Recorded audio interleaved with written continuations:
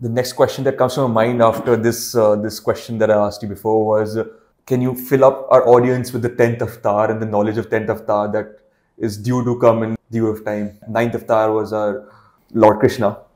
Now tenth avatar and how and why will it appear?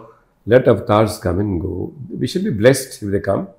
Uh, Buddha came, they were blessed. Krishna came, and they were people of great.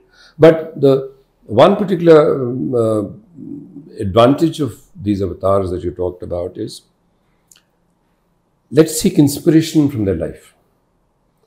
Let's treat them not as gods or demigods. Let's, you know, I, one of the beautiful statement that I often quote is that, and said by some people, that we must humanize our relationship with God, like we treat human. We, we, and divinize our relationship with human beings. Well said. You know, I mean, let's treat people as like you, is As divine. God. Yeah, but be be in human touch with what we are doing. We're keeping our gods into inside the temple, far away, removed. We can't even go and touch in sanctum sanctorum. You know, let's get close to him. And another thing which we often we, we which something which we I must mention that we shouldn't be talking about fear of God.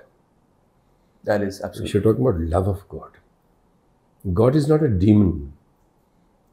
वो असुर नहीं राक्षस नहीं है we should be of. Of we should be scared of him only you doing something wrong and that in any case we but the love of God is something which is more important that is what we need to and that that would come when we follow the principles, lives and messages that how they lived this life, how when they came, what are the purpose and did they execute it? Love and affection, like for example, Ram, Maryada Purushottam. What all did he do? So if we learn from their experience as human beings, and not say that they are gods, we can't do it, you know, brush it, then that's the biggest lesson we can get from these avatars. I respect you for that answer because I had a question based on the future, which is uncertain, right? And you answered really well, I must say that.